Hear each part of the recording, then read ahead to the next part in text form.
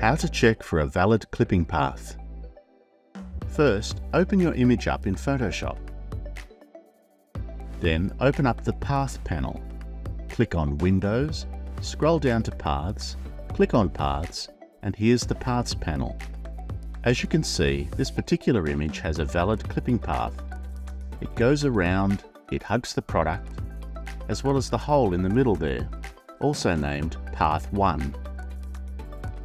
For lifestyle images, it just needs to be a square, not too close to the edge, but enough to keep the detail of the image.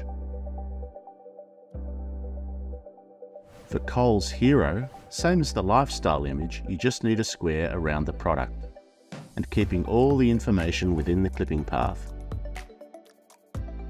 How to check for a valid colour profile. Click on Edit, go down to Assign Profile and it can either be an sRGB or an Adobe RGB 1998. Either one of those is a valid colour profile. How to check an image is 300 dpi. Click on the image, click on image size, and as you can see the resolution is 300. It has to be pixels per inch. And that's how you manage clipping paths for loading into the National Product Catalogue